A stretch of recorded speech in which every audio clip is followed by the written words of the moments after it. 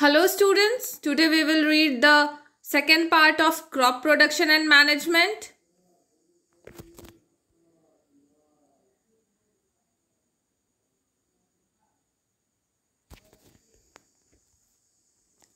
Adding manure and fertilizers.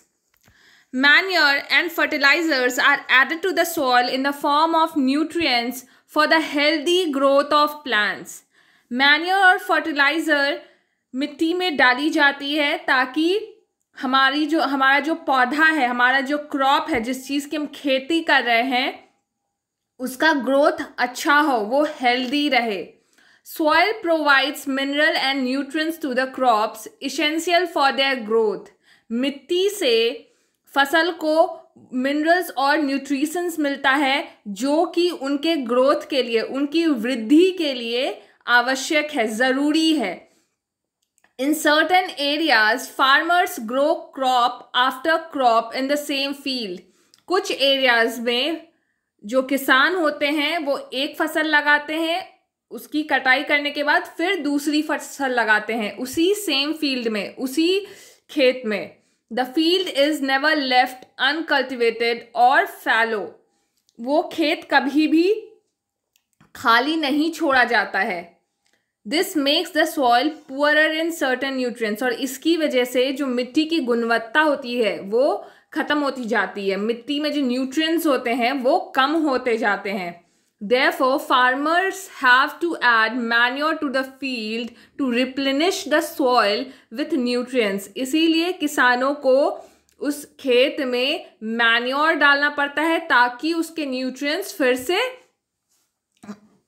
आ जाए मतलब फिर से मिट्टी जो है वो उपजाऊ हो जाए, मिट्टी की उपज उर्वरता बनी रहे, मिट्टी का, की जो उपज की शक्ति है वो बनी रहे। This process is called manuring और ये प्रोसेस क्या कहलाता है? मैन्यूरिंग कहलाता है।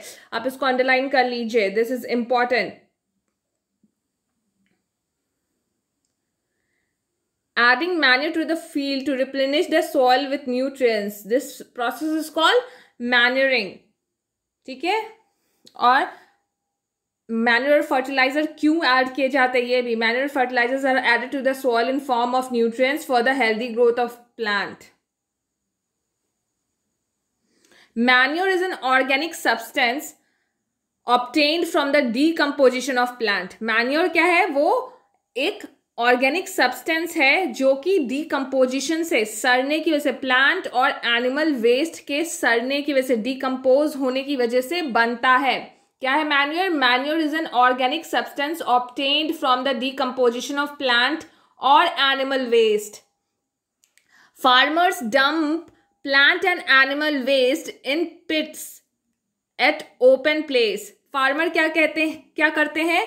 प्लांट के वेस्ट को और एनिमल वेस्ट को एक गड्ढे में एक ओपन गड्ढे में जमा करते हैं अलाउ इट टू डीकम्पोजर उसको सड़ने के लिए छोड़ देते हैं।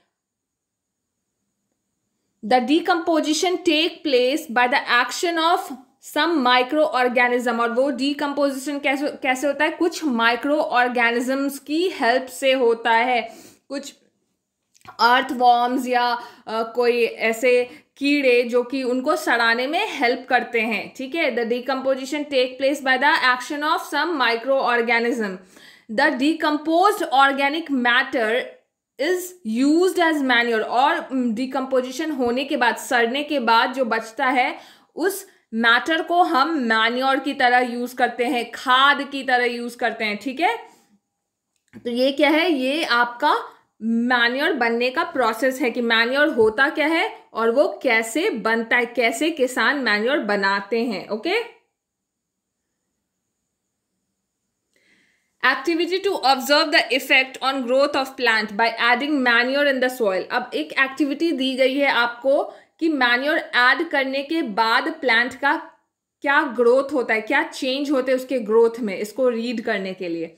मटेरियल रिक्वायर्ड किस किस चीज़ों की ज़रूरत होगी आपको? थ्री डिकम्पोजेबल ग्लासेस और थ्री बीकर्स तीन गमले या तीन बीकर या तीन ग्लास की ज़रूरत है। सम जर्मिनेटेड मूंग्स और ग्राम कुछ मूंग जर्मिनेटेड मूंग, कुछ फुलाए हुए मूंग, कुछ अंकुरित मूंग या चने की ज़रूरत है आपको। A small quantity of farmer man farm manure और कुछ वही सड़े हुए खाद की ज़रूरत है, यूरिया यूरिया की ज़रूरत है सॉइल और पानी की ज़रूरत है water procedure take the three glasses और beakers and mark them as A B and C तीन ग्लास या तीन बीकर या तीन गमले जो भी लेने आपको ले लो और उस पर ए बी सी मार्क कर दो. Put some soil in all the three glasses to form a layer कुछ मिट्टी डाल दो उसमें. Add some farmyard manure in glass B glass B में मैन्योर डाल दो. ठीक है and C and urea in glass C और ग्लास सी में यूरिया डाल दो। Now put few germinated seed in each glass and cover with soil अब तीनों ग्लास में कुछ कुछ सीड्स डाल दो और उसे कवर कर दो मिट्टी से। Add some amount of water in each glass और तीनों गमले या तीनों ग्लासेस में थोड़े थोड़े पानी डाल दो। एड सम हाँ put these glasses at a place where they can get proper sunlight अब इन तीनों को धूप में रख दो, जहाँ पे कि उनको अच्छी धूप मिल सके। Water them regularly and observe their growth और तीनों में रेगुलरली पानी डालते रहो और उनका ग्रोथ ऑब्ज़र्व करो। देखो कि कैसे उनकी वृद्धि होती है। Observe the plant after one week what do you see एक सप्ताह के बाद आप देखेंगे, क्या देखेंगे? Observation the growth of plant is best in glass B and C B और सी में जो ग्रोथ होगा, वो अच्छा होगा, बहुत अच्छा होगा। Conclusion manure adds organic matter to the soil that result in to growth of plant और आपका जो मैन्योर ऐड किया है, आपने ये प्लांट के ग्रोथ में बहुत अच्छा होता है, बहुत हेल्प करता है। Okay okay? ये है आपका ऑब्जर्वेशन आप करके देख सकते हैं। Fertilizers and nutrient rich chemical substance fertilizers क्या होते हैं? फर्टिलाइजर्स होते हैं न्यूट्रिएंट रिच केमिकल सब्सटेंस होते हैं। ये क्या होते हैं? केमिकल सब्सटेंस होते हैं। ऑर्गेनिक नहीं होते ये। They are specific in their content और ये बड़े स्पेसिफिक होते हैं अपने content the most common use fertilizers are N P K सबसे ज़्यादा मोस्ट कॉमनली यूज़ फर्टिलाइज़र क्या है? N P K fertilizers these are rich in nitrogen इसका नाम अब एन पी के क्यों है? देखो this is rich these are rich in nitrogen phosphorus and potassium ये तीनों, ये फर्टिलाइज़र नाइट्रोजन फॉस्फोरस और पोटाशियम इसमें अच्छी मात्रा में होता है। Urea, ammonia sulphate. और दूसरा क्या है? Urea, ammonia sulphate. इसको कैन कहते हैं। Calcium, ammonium nitrate. नहीं अलग अलग टाइप के आपके फर्टिलाइजर्स हैं। एक तो एनपीके था, दूसरा यूरिया, तीसरा अमोनियम सल्फेट, चौथा कैन, जिसको कि कैल्शियम, अमोनियम नाइट्रेट कहते हैं। फिर क्या है आपका? Superphosphate. Are some other fertilizers. ये सारे आपके फर्टिलाइजर्स के एग्ज़ाम्पल है जो कि कॉमनली यूज़ किए जाते हैं। Chemical fertilizers are popular with farmers as they are easy to use ये जो केमिकल फर्टिलाइजर्स जो हैं फार्मर से बहुत पसंद करते हैं। फार्मर्स के बीच में ये बहुत पॉपुलर है। क्योंकि ये बहुत आसान है इस्तेमाल करने के लिए and help to get better crop yield और इससे फ़सल की पैदावार बहुत अच्छी होती है। However excess use of fertilizers should be avoided as they can cause water and soil pollution मगर एक्सेसिव यूज़ फर्टिलाइजर्स का नहीं करना चाहिए क्योंकि ये पानी और मिट्टी दोनों को प्रदूषित करता है। बात समझ आई आपके? फर्टिलाइजर्स क्योंकि केमिकल सब्सटेंस होते हैं और कोई भी तरह का केमिकल जो है वो ऑब्वियसली आपको कहीं ना कहीं नुकसान पहुंचाएगा। तो ये हार्मफुल होते हैं। ये आपके पानी को और मिट्टी को, दोनों को पॉल्यूट करते हैं, दोनों को खराब करते हैं। ठीक है? नेक्स्ट है आपका difference between fertilizers and chemicals are listed below अब फर्टिलाइजर्स और मैन्योर में क्या डिफरेंस है? ये नीचे लिखा है fertilizers fertilizer is an inorganic salt ये क्या इनऑर्गेनिक है? Manure is a natural substance obtained by the decomposition of cattle dung human waste and plant residual अभी हमने पढ़ा था कि फर्टिलाइज़र जो है वो क्या है? केमिकल्स हैं, ठीक है? और मैन्योर जो है वो क्या है? उसे तो किसान बनाता है तो वो नेचुरल सब्सटेंस है, ठीक है? Fertilizer is prepared in factories fertilizer कहाँ बनते हैं? फैक्ट्रीज में बनते हैं. Manure can be prepared in the field from animal and plant waste और मैन मैन्योर कहाँ बनता है? वो मैन मेड होता है ह्यूमन मेड होता है. फार्मर खुद बनाते हैं उसको अपनी फ़ील्ड में एनिमल और प्लांट के वेस्ट से. A fertilizer does not provide any humus to the soil fertilizer ज़मीन को कोई भी ह्यूमस प्रोवाइड नहीं करते हैं। Manure provide a lot of humus to the soil. ठीक है? फर्टिलाइजर्स नमी नहीं देते मिट्टी को और मैन्योर से नमी मिलती है ज़मीन को, ठीक है? Fertilizers are very rich in plant nutrients like nitrogen, phosphorus and potassium. Fertilizers जो है बहुत रिच होते हैं न्यूट्रिएंट्स में। Manure is relatively less less rich in plant nutrients. Manure जो है उतने ज़्यादा रिच नहीं होते हैं न्यूट्रिएंट्स में मगर फिर भी ये हमारी मिट्टी और पानी की गुणवत्ता को बनाए रख, रखते हैं है ना?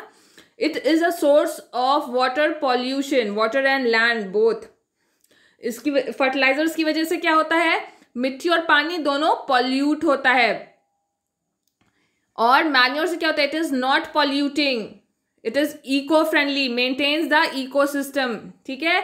ये है आपका डिफरेंस फर्टिलाइज़र और मैन्योर में। अब एडवांटेजेस ऑफ़ मैन्योर मैन्योर के यूज़ करने के क्या क्या एडवांटेजेस हैं? The organic manure is considered better than fertilizers manure को फर्टिलाइज़र से बेहतर माना जाता है। This is because of some reason और ये क्यों माना जाता है? इसके कुछ रीजंस नीचे दिए गए हैं। It enhances the water holding capacity of soil ये पानी की, मिट्टी की पानी को होल्ड करने की, पानी को रोकने की क्षमता को बढ़ाता है। ये मत, ये पानी को, मिट्टी को बहुत देर तक गीला रहने में मदद करता है। It makes the soil pore porous due to which exchange of gases become easy इसकी वजह से क्या होते हैं? सॉयल जो होते हैं पोरस हो जाते हैं। उनके बीच में गैसेस के एक्सचेंज करने की जगह बचती है, होती है ईजली गैस एक्सचेंज कर पाते हैं मैन्योर की वजह से। It increases the number of friendly microbes और इसकी वजह से कुछ फ्रेंडली माइक्रोब्स भी बढ़ते हैं ज़मीन में। It improve the texture of soil और इसकी वजह से मिट्टी की क्वालिटी भी अच्छी होती है। This manure is considered better than fertilizers और इसीलिए मैन्योर को फर्टिलाइज़र से बेटर माना गया। ये क्या आपके बहुत इंपॉर्टेंट है एडवांटेज ऑफ़ मैन्योर ठीक है? ये सारे अंडरलाइन कर लीजिएगा। This manure is considered better than fertilizers इसीलिए मैन्योर जो होते हैं फर्टिलाइज़र से बेटर होते हैं, अच्छे होते हैं। इट रिप्लेनिशेज द सॉयल और इसकी वजह से जो मिट्टी है, वो क्या होती है? हमेशा नई होती जाती है, हमेशा अच्छी होती जाती है।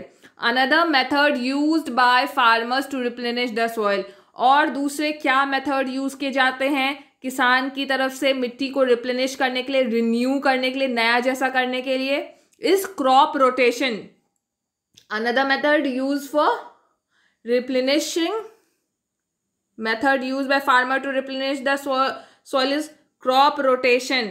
In this method, different crops are grown alternately. Crop rotation में क्या होता है? Different crops are grown alternately after the harvesting the farmer grow legumes pulses after the harvesting the farmers grow legumes pulses legumes have the bacteria rhizobium in the root nodes pulses में क्या होते हैं?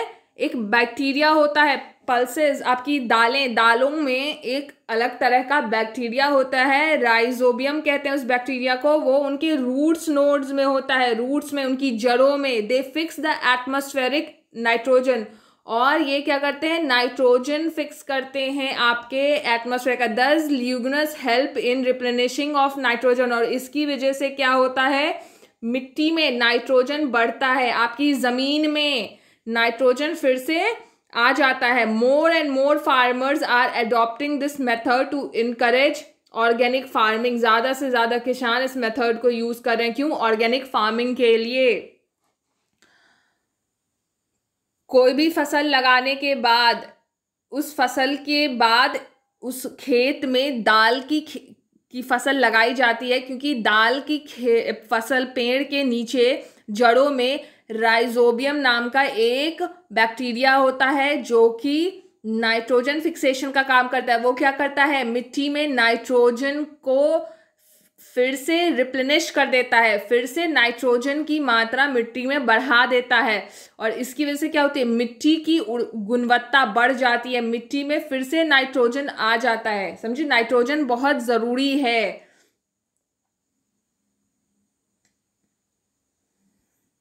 Irrigation अब irrigation पढ़ेंगे हम. Water is important for proper growth and development of flowers fruits and seeds of plant पानी बहुत ज़रूरी है खेती के लिए. पता ही होगा आप सबको कि पेड़ को पानी की बहुत ज़रूरत होती है.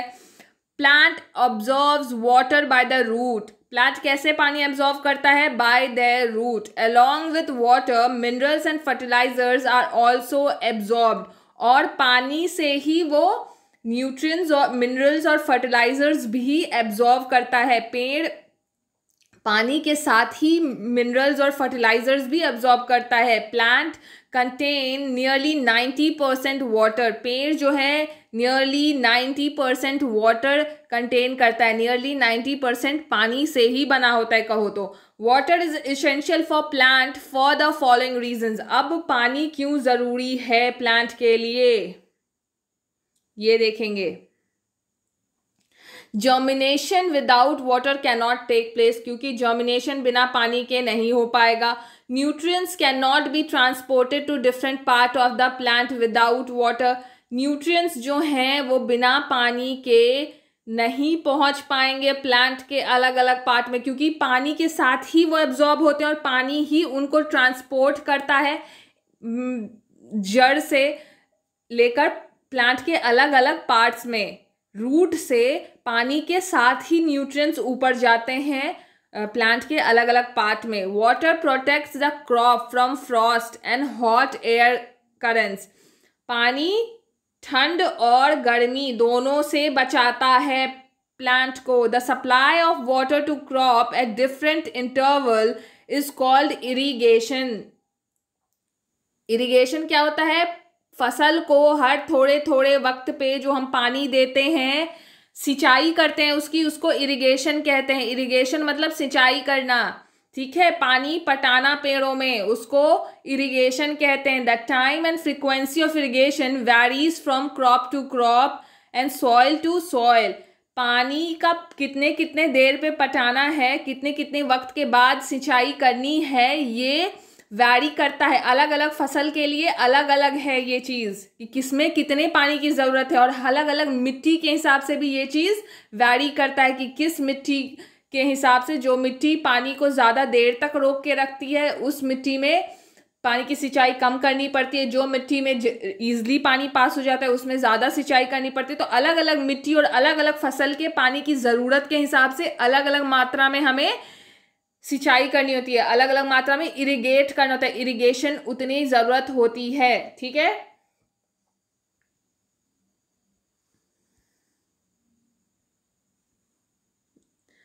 एंड सीज़न टू सीज़न जैसे कि ठंड के मौसम में कम सिंचाई करनी पड़ती है और गर्मी के सीज़न में ऑब्वियसली ज़्यादा सिंचाई करनी पड़ेगी क्योंकि गर्मी ज़्यादा होती है। For example wheat cultivation requires a lot of water जैसे कि आपके वीट का कल्टीवेशन गेहूँ की खेती में पानी की बहुत ज़्यादा ज़रूरत होती है। At different stages of its growth अलग अलग ग्रोथ के समय में अलग अलग मात्रा में पानी की ज़रूरत होती है, मगर बहुत अधिक पानी की ज़रूरत होती है। While paddy required standing water जबकि पैडी को नॉर्मल पानी की ज़रूरत होती है। Similarly, in summer, frequency of irrigation is higher due to increased rate of evaporation. Similarly, summer में क्या होता है? ज़्यादा पानी पटाना पड़ता है क्योंकि पानी भाव बनकर उड़ जाता है एवोपरेट हो जाता है। ठीक है? In our country rain is the main source of irrigation हमारी कंट्री में रेन जो है मेन सोर्स ऑफ़ इरिगेशन है। सबसे ज़्यादा सिंचाई बारिश की वजह से होती है ठीक है? क्योंकि किसान ज़्यादा वर्षा पे निर्भर हैं सिंचाई के लिए। The other source of irrigation are well tubewell ponds lake river dams and canals और अलग अलग कुछ और भी मेथड्स वो यूज़ करते हैं कुछ और सोर्स यूज़ करते हैं सिंचाई के लिए। वो क्या क्या है? वेल कुएँ ट्यूबवेल ट्यूबवेल वेल ही होता है वो, उसमें मोटर लगा होता है। मोटर की वजह से पानी खींच कर ऊपर आता है। उसमें हमें रस्सी से पानी खींचनी नहीं पड़ती। पौंड तालाब लेक्स रिवर्स डैम्स आपके बाँध कैनाल्स ये सारे क्या हैं? इरिगेशन के लिए यूज़ कर, किए जाते हैं। ये सब मेन सोर्स हैं आपके इरिगेशन के, सिंचाई करने के मेन सोर्स हैं। ठीक है?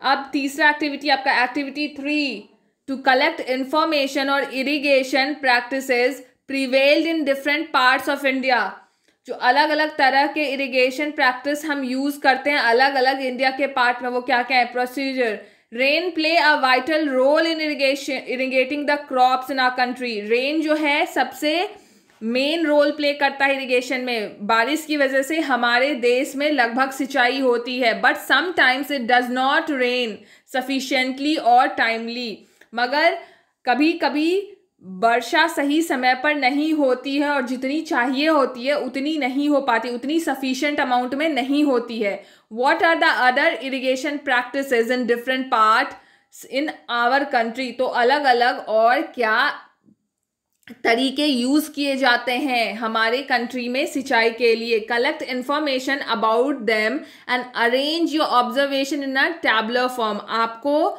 इसके बारे में जानकारी इकट्ठा करनी है और आपको एक टेबल बनाना है कि किस पार्ट में इंडिया के किस तरीके से सिंचाई की जाती है। ठीक है? ऑल्सो पेस्ट देयर पिक्चर्स और आपको उसके पिक्चर्स चिपकाने हैं, ठीक है? Now come to traditional method of irrigation traditional क्या मेथड यूज़ किया जाता है इरिगेशन के लिए? The water available in well lakes and canals are lifted up by different methods जो आपका कुएँ का पानी है या फिर किसी तालाब का पानी है या कैनाल का पानी है या आपका आ, किसी नदी का पानी है ये सब क्या किया जाता है? अलग अलग तरीके से खेतों में पहुँचाया जाता है। अब वो क्या क्या मेथड्स है ये देखते हैं। Lifted by different methods and different regions अब वो अलग अलग रीजन्स में अलग अलग मेथड से निकाले जाते हैं पानी। For taking it to the field with the help of cattle और ह्यूमन्स या तो ये आ, खेत में इंसान लेकर जाते हैं या तो जानवरों की मदद से लेकर जाया जाता है मतलब बैल लेकर जाते हैं आपके। दीज मेथड्स आर चीपर ये मेथड्स जो क्या है, बहुत ही सस्ते हैं बट लेस इफिशियंट मगर बहुत ही कम इफिशियंट है, क्योंकि उतने, जितने ज़्यादा अमाउंट में पानी ले जाने की ज़रूरत है हमारी, उतनी अमाउंट में तो कोई भी इंसान या जानवर पानी नहीं ही ले जा पाएगा, नहीं ही पहुँचा पाएगा। The various traditional methods include moat moat को पुली सिस्टम भी कहते हैं। कुएँ में पुल्ली लगा के पानी खींचा जाता था कुएँ से। आप देख सकते हैं मोट सिस्टम और वहाँ से पानी बहाया जाता है और वो पूरे खेत में फैलता जाता है। ठीक है? कियारियाँ बना के फैलाई जाती हैं। कियारियाँ होती हैं, खेतों में रास्ते बना दिए जाते हैं पानी के फ्लो करने के लिए। चेन पंप अब चेन पंप है आपका। चेन पंप में क्या होता है? कि चेन लगा होता है और एक आपका जैसे, हमारा एक रिंग व्हील होता है ना, झूला, उसके जैसा होता है। वो पानी में अंदर जाता है और ऐसे पानी को लेते हुए ऊपर आता है और फेंकता जाता है वो पानी, एक तरफ़ से दूसरी तरफ़, ठीक है? और इसी तरफ़, इसी तरह पानी हमारे खेतों में आता जाता है। ढेकली ढेकली में क्या होता है? इसमें भी वही कुआँ वाला सिस्टम ही है। कि कुएँ से पानी निकाला जाता है ए, किसी पेड़ या किसी लीबर की हेल्प से और और वो पानी ऐसे कियारियाँ बनाकर खेतों में डाला जाता है। और लास्ट है आपका राहत। राहत में जो है वो जानवर घूमता है। आपके जो कैटल हैं वो घूमते हैं और उसकी वजह से वो पुल्ली घूमता है। वो आपका विंड मिल टाइप वाला जो पुल्ली होता है और वो पानी निकलता जाता है। ठीक है? ये तो आपके ट्रेडिशनल मेथड से पहले के ज़माने में ये सारे मेथड्स यूज़ होते थे। अब मॉडर्न मेथड्स के बारे में पढ़ते हैं कि आजकल कौन से मेथड्स यूज़ होते हैं। Modern methods of irrigation use water economically the main methods use are as follows अब देखते हैं कि नए जो मेथड्स हैं, वो क्या क्या है? स्प्रिंकल सिस्टम स्प्रिंकलर सिस्टम क्या होता है? In this system the particular pipes having rotating nozzle और top are join to the main pipeline at regular interval एक नोजल होता है जो रोटेट होता है, जो चारों तरफ़ घूमता है, जिससे कि पानी बाहर आता है, वो एक पाइप से, एक रेगुलर पाइप से, एक मोटे मेन पाइप से हर थोड़े थोड़े दूर पे लगा होता है, ठीक है? When water flows through the main pipe और जब मेन पाइप से पानी फ्लो करता है under pressure with the help of a pump एक मोटर की मदद से पंप की मदद से its escapes from the rotating nozzle वो निकल कर आता है उस रोटेटिंग नोजल से। It get sprinkled on the crop as if it is raining और वो फ़सल के ऊपर ऐसे स्प्रिंकल होके गिरता है जैसे कि बारिश हो रही हो। Sprinkler system is effective on uneven lands sprinkler system जो है अन ईवन लैंड्स पे, जो ज़मीन समतल नहीं है, हर जगह बराबर नहीं है, वहाँ पे बहुत इफ़ेक्टिव है, बहुत कारगर है। एंड इन सैंडी सॉइल और सैंडी सॉइल में भी। बलुआ मिट्टी में भी, ठीक है? Drip system. अब ड्रिप सिस्टम क्या है? In this system, the water flows drop by drop just as the position in the root. और ड्रिप सिस्टम में जो पानी है, वो ड्रॉप बाय ड्रॉप, बूंद बूंद गिरता है हर प्लांट के रूट के पास, हर प्लांट की जड़ के पास। It is the best technique for watering fruit plants ये सबसे बेस्ट टेक्निक है फल के पेड़ों की, के लिए गार्डन्स एंड ट्रीज और पेड़ों के लिए बड़े बड़े पेड़ों के सिंचाई के लिए, फ़सल की सिंचाई के लिए अच्छा नहीं है, ये पेड़ों की, फल के पेड़ की या किसी और पेड़ की सिंचाई के लिए अच्छा है। Not even a drop of water is wasted in this method एक भी बूंद पानी बर्बाद नहीं होता इस मेथड में। This practice is very popular in water deficient region और ये तरीका बहुत ही पॉपुलर है उन रीजन्स में जहाँ पे कि पानी की कमी है। ठीक है? आपको समझ आ गया कि ट्रेडिशनल मेथड कौन कौन से थे? आपके ट्रेडिशनल मेथड कौन कौन से थे? और न्यू मेथड्स कौन कौन से हैं? आपके ट्रेडिशनल मेथड्स कौन कौन से थे? ये सारे आपके मोट चेन पंप ढेकली और राहत और आपके नए वाले कौन कौन से हैं? नए वाले कौन कौन से हैं? स्प्रिंकलर सिस्टम और ड्रिप सिस्टम। ड्रिप सिस्टम और स्प्रिंकलर सिस्टम, ये दोनों क्या है? मॉडर्न है और वो सारे जो थे, वो क्या थे? वो ट्रेडिशनल सिस्टम थे। ठीक है? अब नेक्स्ट पे आते हैं। Protecting, protection from weed. Protection, अब वीड से कैसे हम प्रोटेक्ट कर सकते हैं? वीड एक्चुअली क्या है? वीड है unwanted plants in a crop field mainly other undesirable plants may grow naturally along with the crop कुछ ऐसे प्लांट हैं जो कि हमारे प्लांट के साथ उग जाते हैं अगल बगल अनवांटेड प्लांट जिन्हें जिन्हें हम नहीं चाहते कि वो उगे। हम उगे, उसे उगाते नहीं है, वो खुद नेचुरली उग आते हैं। उन प्लांट्स को क्या कहते हैं? वीड कहते हैं। In a crop field many other undesirable plant may grow naturally along with the crop these undesirable plants are called weeds अब कौन कौन से वीड्स हैं? चौलिया चौलिया, जिसको कि हम लोग हिंदी में अमरा अमरांथस भी कहते हैं। वो अम चौलिया कहते हैं हम हिंदी में, उसका ऐसे साइंटिफिक नेम अमरांथस है। जावी, जिसको वाइल्ड ओट्स कहते हैं, और बथुआ बथुआ, जिसको कि हम चेनोपोडियम कहते हैं। आर सम कॉमन वीड्स ये सारे जनरली कॉमन वीड्स हैं। ये सारे जनरली खेतों में उग जाते हैं आपकी फ़सलों के साथ। The removal of weeds is called weeding अब वीडिंग क्या है? इन अनवांटेड वीड्स को हटाने को, के प्रोसेस को वीडिंग कहते हैं। Weeding is necessarily since necessary since weeds compete with the crop plant for water nutrient space and light weed weeding करना ज़रूरी है इन वीड्स को, इन अनवांटेड प्लांट्स को हटाना बहुत ज़रूरी है, क्योंकि ये वो सारी चीज़ें लेते हैं जो कि हमारे क्रॉप के लिए ज़रूरी है। जैसे कि अगर हम खेतों में पानी पटा रहे हैं तो ये उस पानी को भी लेते हैं, जो न्यूट्रिएंट्स डाल रहे हैं, उन न्यूट्रिएंट्स को भी लेते हैं, हमारी खेत का स्पेस भी ले रहे हैं और लाइट भी ले रहे हैं। तो इसकी वजह से क्या होता है, हमारा खेत बहुत कंजेस्टेड हो जाता है और क्योंकि ये जो न्यूट्रिएंट्स हम अपने फ़सल में डाल रहे हैं, वो ये न्यूट्रिएंट्स भी ले रहे हैं, पानी भी ले रहे हैं तो हमारी फ़सलों को कम पानी और कम न्यूट्रिएंट्स मिल रहा है, जिसकी वजह से उसका ग्रोथ कम होता है। इसीलिए हमारी फ़सलों का ग्रोथ अच्छा हो। इसीलिए इन वीड्स को हटाना बहुत ज़रूरी है। This they affect the growth of our crop ये हमारे फ़सल की उपज को, उसकी वृद्धि को इफ़ेक्ट करते हैं, नुकसान पहुंचाते हैं। Weeds are remove by tilting before sowing of crops weeds कैसे हटाया जाता है? टिल्टिंग से। हमने पढ़ा था ना कि मिट्टी को खोदा जाता है। बीज लगाने के पहले मिट्टी को पलटा जाता है, ज़मीन को खोदा जाता है।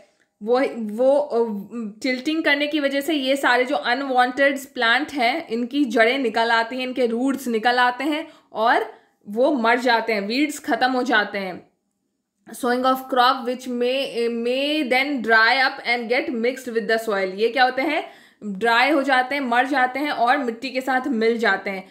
Weed should be removed before they produce flower and seeds weeds को कब हटाना है? उसमें फूल या फिर बीज होने के पहले ही हटा देना है। The manual removal introduce physical removal of weed by uprooting and cutting them close to the ground manually मतलब जब मशीन से नहीं हटाया जाता मतलब ट्रैक्टर की हेल्प से अगर नहीं हटाया जा रहा है मैनुअली हाथ से हटाया जा रहा है, इंसान उसे खुद से हटा रहा है तो क्या करते हैं? या तो उसको उसको जड़ से निकाल लेते हैं अपरूट कर देते हैं, या फिर कट कर देते हैं उसको ज़मीन के पास से उसे काट के हटा दिया जाता है फ्रॉम टाइम टू टाइम समय थोड़े थोड़े समय पे जब वो उग जाते हैं। तो this is done with the help of khurpi. खुरपी की मदद से ये किया जाता है। ये कैसे किया जाता है? खुरपी की मदद से। Chemical method of their removal includes use of certain chemical और कुछ केमिकल मेथड भी यूज़ किए जाते हैं इसको हटाने के लिए। भाई वीडीसाइड्स यूज़ करते हैं हम। केमिकल कॉल वीडीसाइड्स जो केमिकल मेथड यूज़ किए जाते हैं इनको हटाने के लिए उसको क्या कहते हैं? Weedicides like two four D M C P A and butachlor butachlor या फिर two four D M C P A ये दो वीडीसाइड्स हैं जो यूज़ किए जाते हैं इन पेड़ों को मारने के लिए, इन अनवांटेड पौधों को हटाने के लिए। These are spread in the field to kill weeds इनको स्प्रे किया जाता है फील्ड्स में वीड को किल करने के लिए। They do not harm crops ये क्रॉप को नुकसान नहीं पहुंचाते, ये हमारी फ़सल को नुकसान नहीं पहुंचाते हैं। ठीक है? अब आते हैं हार्वेस्टिंग पे। Harvesting the crop is needed to be cut after it matures crop को की कटाई करनी पड़ती है, जबकि वो मैच्योर हो जाते हैं, बड़े हो जाते हैं, जब उनमें फ़सल हो जाते हैं, तब। It usually takes three to four month for a cereal crop to mature एक सीरियल क्रॉप को मैच्योर होने में तीन से चार महीने लगते हैं। The cutting and gathering of crop is called harvesting अब हार्वेस्टिंग क्या होता है आपका? Harvesting is the cutting and gathering of crop is called harvesting in harvesting crops are pulled out or cut close to the ground harvesting में क्या जाता है? या तो फ़सल को ज़मीन से जड़ से निकाल लिया जाता है या फिर ज़मीन के पास से नज़दीक से काट लिया जाता है। In our country, harvesting is either done manually, using a sickle or by a machine called harvester. हमारी कंट्री में हार्वेस्टिंग या तो मैनुअली किया जाता है, जन मजदूर करते हैं, कटाई करते हैं फ़सल की, या तो मशीन से किया जाता है। हम हार्वेस्टिंग कैसे किया जाता है? सिकली करते हैं, जो लोग होते हैं, मजदूर, वो करते हैं, या तो हार्वेस्टर से किया जाता है। आपका सिकली ऐसा होता है, देख लो। पिक्चर में दिया ये सिकली होता है, जिससे कि आपकी फ़सल काटी जाती है। या तो जो आपके जन मजदूर हैं, वो करते हैं, ठीक है?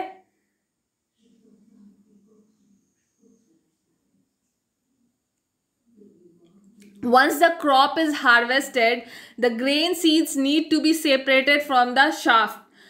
एक बार जब फ़सल की कटाई कर ली जाती है तो उस पेड़ से, वो जो पौधा होता है, जिसमें की फ़सल है, उससे हमें अलग करना होता है ग्रेन्स को ग्रेन सीड्स को। This process is called threshing इस प्रोसेस को क्या कहते हैं? थरेसरिंग कहते हैं।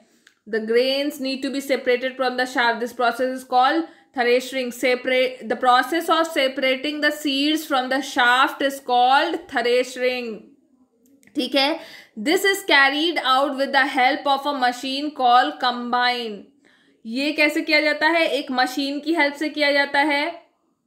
और उस मशीन को क्या कहते हैं? Combine which in fact is combined harvester and thresher ये क्या है? ये कंबाइंड हार्वेस्टर भी है और थ्रेसर भी। इसकी मदद से फ़सल काटे भी जाते हैं हार्वेस्ट भी किए जाते हैं और उसके बाद उन्हें शाफ्ट से अलग भी किया जाता है। ठीक है?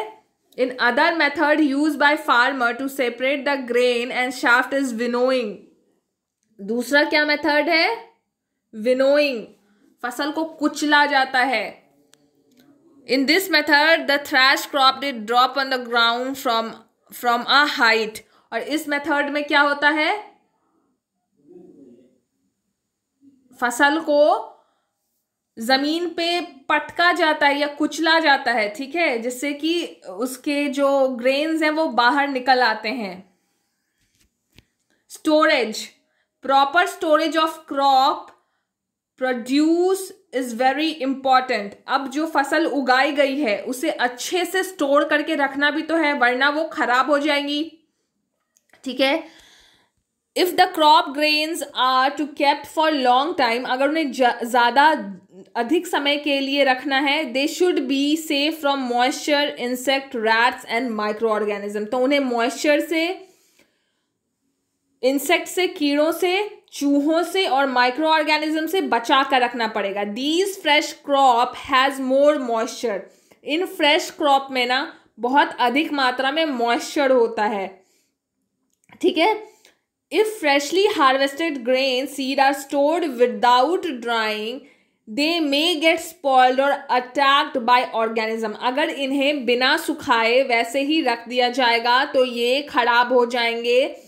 और इनमें बहुत सारे कीड़े हो जाएँगे, बहुत सारे माइक्रो ऑर्गेनिज्म इन्हें अटैक करेंगे लूजिंग देयर जर्मिनेशन कैपेसिटी और इसकी वजह से क्या होगा? उनका जर्मिनेशन कैपेसिटी खराब हो जाएगा। अगले साल जब जब किसान उससे फ़सल उगाएँगे तो अच्छी फ़सल की पैदावार नहीं होगी, वो अच्छे सीड्स नहीं रह जाएँगे जर्मिनेटेड सीड्स नहीं रह जाएँगे। अच्छी क्वालिटी के गुड क्वालिटी सीड्स नहीं रह जाएँगे।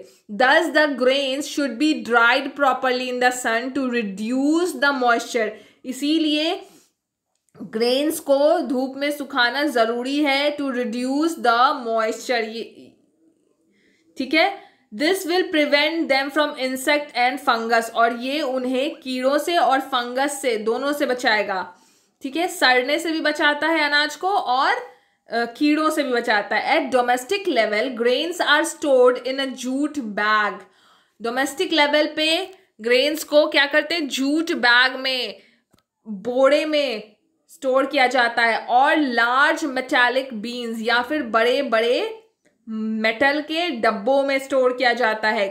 Commercially grains is stored in silos and granaries to protect it from pest और कमर्शियली इन ग्रेन्स को सिलॉस या फिर ग्रेनरीज में भी प्रोटेक्ट कर कर रखा जाता है। The bag or sack in which grain is to be stored should be properly stitched और जिस बैग या सैक बैग या बोड़े में से रखा जाता है, उन्हें प्रॉपरली उनकी सिलाई की जाती है। While storing the sack in the godown or granaries care should be taken to have a proper gap between the wall and the bag और जब इन्हें गोडाउन में या ग्रेनरी में, ठेक में, जिसे ठेक कहते हैं हम लोग हिंदी में, अनाज का ठेक उसमें रखा जाता है तो बहुत सारी बातें ध्यान में रखी जाती हैं। क्या?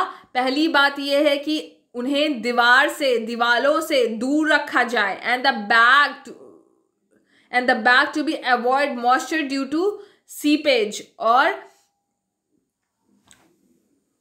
जो सिलन होती है दीवारों में, उसकी वजह से बैग में मॉइस्चर ना आए। ठीक है? Narrow passages call alley should be provided with be in the sack और छोटे छोटे पतले पतले रास्ते दिए जाते हैं सैक के बीच में।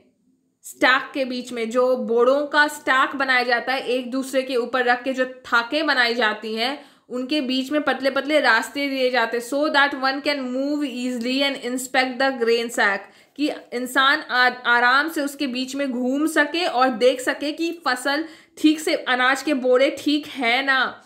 ठीक तो हैं, उनको इंस्पेक्ट कर सके, उनका रख रखाव कर सके। As far as possible new bag should be use to avoid infestation और जहाँ तक हो सके, नए सैक या नए बैग्स यूज़ किए जाते हैं, नए बोड़े इस्तेमाल में लाए जाते हैं ताकि इन्फेस्टेशन ना हो with insects and micro organism वो कीड़े यहाँ ना आए। Which can damage the grain जो कि ग्रेन्स को खराब कर सकते if old bag are to be use they should be wash properly with boiling water and dried in bright sunlight अगर वही पुराने बैग का इस्तेमाल किया जा रहा है तो उनको अच्छे से साफ़ साफ़ किया जाता है, उनकी सफ़ाई की जाती है गर्म पानी में और उन्हें धूप में सुखाया जाता है properly at domestic level dried neem leaf can be use as insecticide in stored grain domestic level पे क्या किया जाता है? नीम के पत्ते भी इस्तेमाल किए जाते हैं इंसेक्टिसाइड के तौर पे ग्रेन्स को बचाने के लिए स्टोर ग्रेन्स वाले रूम में ये आ, नीम के पत्ते भी रखे जाते हैं कि वहाँ कीड़े ना आए। Commercially some chemical treatment is required to protect the grain और कमर्शियली क्या किया जाता है? जहाँ पे बहुत बड़े बड़े आपके अनाज के गोडाउन हैं उसमें केमिकल्स भी यूज़ किए जाते हैं इन्हें बचाने के लिए, इन्हें प्रोटेक्ट करने के लिए कि वहाँ चूहे ना आए, वहाँ कीड़े ना आए। इसीलिए food from animal we have discussed about the different steps required in crop production हमने अभी पढ़ा अलग अलग तरह के मेथड्स अलग अलग तरह के तरीके जो कि फ़सल उगाने में मदद करते हैं हमारी, जिस, जिनकी हम, जिन्हें हम इस्तेमाल में लाते हैं फ़सल उगाने के लिए। We get our food not only from plant but also from animal हमें हमारा खाना सिर्फ़ पेड़ पौधों से ही नहीं, जानवरों से भी मिलता है। For example we get milk from cow example के लिए हमें दूध कहाँ से मिलता है? गाय से मिलता है। हनी फ्रॉम बी और मध मिलता है हमें बी से मधुमक्खियों से एग फ्रॉम चिकन अंडा मिलता है हमें मुर्गी से and so on animals are rear to get food items जानवरों को पाला जाता है फ़ूड आइटम्स के लिए, खाने की, वस्तुओं के लिए जस्ट लाइक क्रॉप प्रोडक्शन बिल्कुल जैसे कि हम फ़सल उगाते हैं, वैसे ही जानवरों का पशुपालन किया जाता है खाने की चीज़ों के लिए. Rearing of animals also require proper care and shelter और ये जो पशुपालन किया जाता है, इसके लिए हमें उनकी बहुत ही खास सेवा करने की ज़रूरत है, उनकी केयर करने की ज़रूरत है और उन्हें शेल्टर देने की ज़रूरत है, उन्हें रहने के लिए अच्छी जगह देने की ज़रूरत पड़ती है। The large scale rearing of animals to get food products from them is called animal husbandry अब इस चीज़ को अंडरलाइन करेंगे एनिमल हस्बेंड्री किसको कहते हैं? The large scale of rearing animals to get food products from them is called animal husbandry. बड़े स्तर पे, बहुत अधिक मात्रा में, बहुत अधिक नंबर्स में जानवरों का पालन करना, खाने की चीज़ों के लिए, उसे क्या कहते हैं? एनिमल हस्बेंड्री कहते हैं। जैसा कि आप मान लीजिए कि आप दूध बेचते हैं, ठीक है? दूध का उत्पादन करते हैं तो आपने बहुत सारी, कम से कम पचास गायें पाल ली। अब आप उन पचास गायों का दूध निकालते हैं और उसे बेचते हैं। ये आपके लिए आपका मेन सोर्स ऑफ़ इनकम है, आपकी कमाई का ज़रिया है। तो ये क्या है? एनिमल हस्बेंड्री कहलाता है, ठीक है? आप एक दो गाय नहीं रख रहे हैं, जिससे कि आप दूध निकालेंगे और अपने, अपनी, आपकी पूरी फैमिली खाएगी। आप इसका प्रोडक्शन कर रहे हैं। मतलब आप उसकी खेती कर रहे हैं। आपको पचास गायें आपने रखे तो पचास गायों को रखने की जगह चाहिए। पचास गायों की देखभाल करने के लिए इंसान चाहिए। पचास गायों का खाना चाहिए। तो ये एक तरह का बिज़नेस हुआ आपका। जैसे कि फ़सल उगाना, बहुत अधिक मात्रा में किसान फ़सल उगाते हैं और उसको बेचते हैं, वैसे ही ये भी आपका एक तरीके का बिज़नेस है animal husbandry for example large scale rearing of fish is called pisciculture और इसी तरह, क्योंकि लोग मछलियाँ खाते हैं तो अधिक मात्रा में मछली पालन करना मछली, मछलियों को पालना और फिर उन्हें बेचना, ये क्या कहलाता है? पैसी कल्चर, मछली पालन को, क्या कहते हैं? Pisciculture. And large scale of rearing of honey bees is called AP culture और इसी तरह जो मधुमक्खियों का पालन करता है, मध के लिए, उसको कहते हैं apiculture now you can complete the following table to know about the food items अब हमें एक नीचे टेबल दिया गया है, हमें उसे कंप्लीट करना है कि कौन सा फ़ूड आइटम किससे मिलता है। हमें मिल्क मिलता है काव बफलो गोट कैमल से। एग हमें किससे किससे मिलता है? हैंड डग गीज जिस जिस चीज़ का एग खाते हैं टर्की मीट कहाँ से मिलता है हमें? गोट और हनी कहाँ से मिलता है हमें? बी से। ठीक है? तो ये चैप्टर आपका खत्म हो गया। और let's discuss the exercise. Name the following. Two zaid crops zaid crops मैंने बताया था ना, मार्च से जून में जो उगते हैं, वो जेड क्रॉप्स होते हैं। क्या क्या होते हैं? वाटरमेलन और आपका क्या क्या है?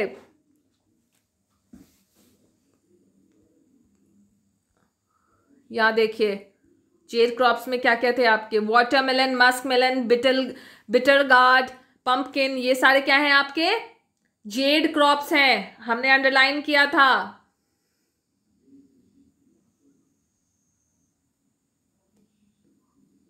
The two method of irrigating the crop पानी पटाने का दो मेथड क्या था? मॉडर्न मेथड्स स्प्रिंकलर मेथड और drip system the process use to separate seed from shaft क्या कहते थे इसको?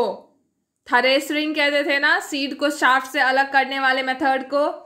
What is weedicide weedicide chemicals used to destroy weeds which what is the use of ho ho को क्यों use करते थे weeds निकालने के लिए खेत से to remove weeds from the field ho is used what is the pisciculture pisciculture large scale of fish rearing is called pisciculture मछली पालन को पेसिकल्चर कहते थे। याद है ना? Short answer type question why do we need to grow crops crops क्यों उगाना होता है हमें? ये बिल्कुल आपके चैप्टर के टॉप में ही दिया है कि क्रॉप हमें क्यों उगाना है? क्योंकि इससे लोगों की ज़रूरतें पूरी होती है। खाने की हमें क्यों क्यों ज़रूरत है? एनर्जी काम करने के लिए हमें एनर्जी की ज़रूरत होती है। ये सब हमें कैसे मिलता है? पेड़ पौधों से मिलता है, फ़सल से मिलता है, इसीलिए हमें क्रॉप चाहिए और हम लोग क्रॉप इसलिए भी उगाते हैं कि सबकी ज़रूरतें पूरी हो सके, सबको खाना मिल सके। What is the difference between rabi and kharif crop ये भी हमने पढ़ा था कि खरीफ क्रॉप कब उगाया जाता है? रेनी सीज़न में और राबी विंटर सीज़न में। ये सारा हमने पढ़ा है, आपके बुक में अंडरलाइन भी करा है। ये देखिए, राबी क्रॉप कब उगाया जाता है? विंटर सीज़न में और खरीफ क्रॉप उगाया जाता है रेनी सीज़न में।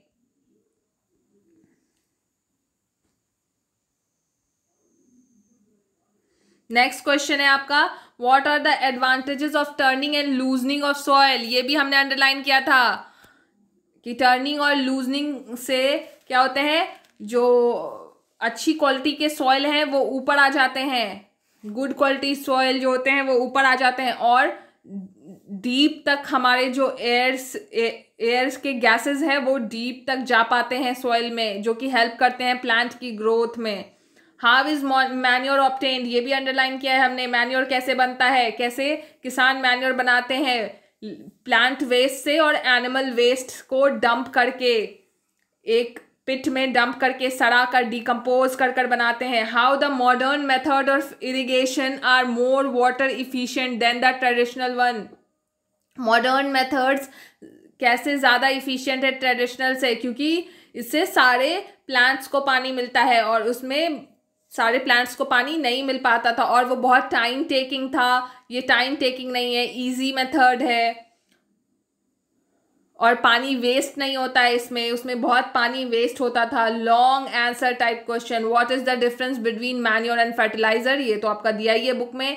Give reasons for the following we need to remove weeds from the main crop main crop से वीड क्यों निकालना होता है? बिकॉज़ वो जो है हमारे क्रॉप के कॉम्पिटेटर्स बन जाते हैं वो हमारे क्रॉप के आ, सारे न्यूट्रिएंट्स पानी और स्पेस लाइट सब लेते हैं इसीलिए उन्हें निकालना ज़रूरी है ताकि हमारे क्रॉप का ग्रोथ अच्छा हो सके। अर्थ वॉर्म्स आर फार्मर्स फ्रेंड क्यों फार्मर फ्रेंड होते हैं? अर्थ वॉर्म ये भी हमने अंडरलाइन किया क्योंकि वो सॉइल को को ह्यूमस प्रो, प्रोवाइड करते हैं।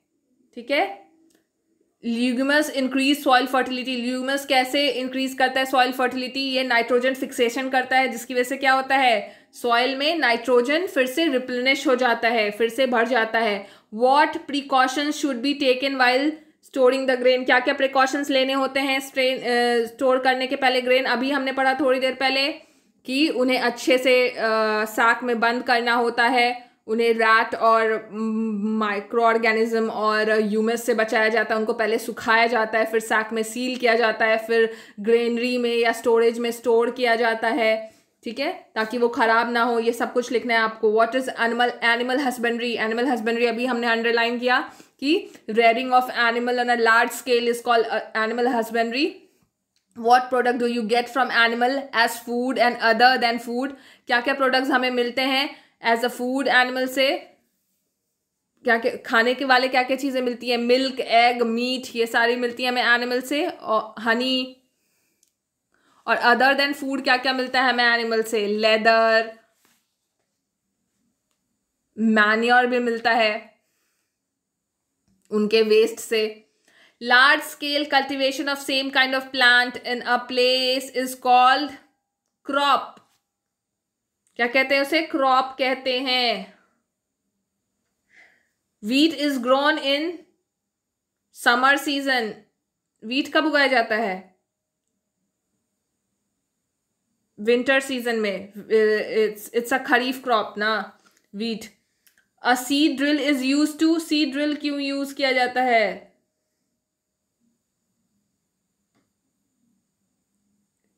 Drill seeds into the soil बीज मिट्टी में डालने के लिए, ना फिर sow the seeds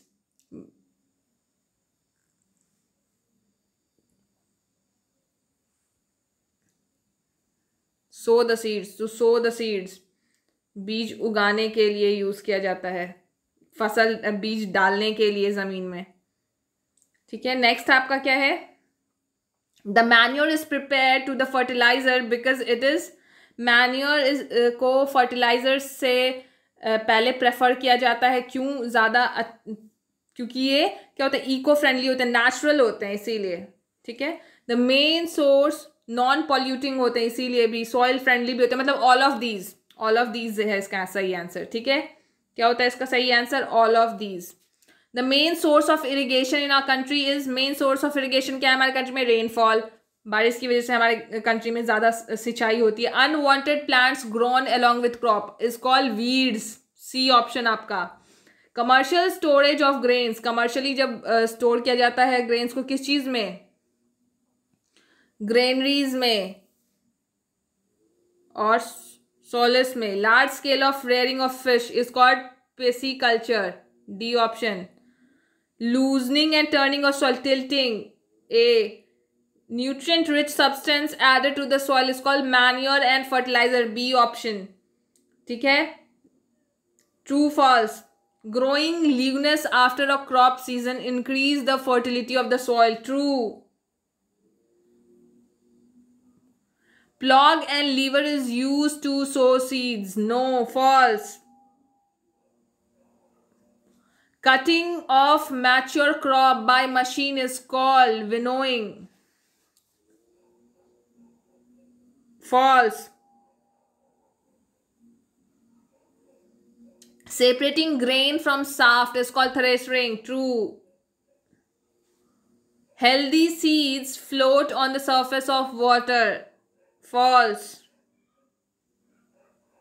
Large scale rearing of honey bee is called floriculture. False. ठीक है तो ये चैप्टर आपका कंप्लीट हो गया अगर आपको ये चैप्टर अच्छे से समझ आया है तो प्लीज़ वीडियो को लाइक सब्सक्राइब और शेयर करना ना भूलें and thank you for watching this video